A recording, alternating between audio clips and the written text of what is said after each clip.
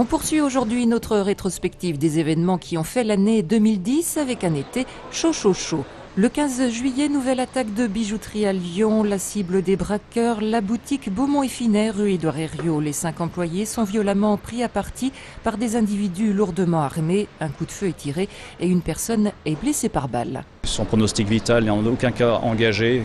Le 18 juillet, le monde du théâtre est en deuil. Philippe Faure est mort. À 58 ans, l'emblématique directeur du théâtre de la Croix-Rousse laisse un grand vide. Les hommages qui lui sont rendus sont unanimes.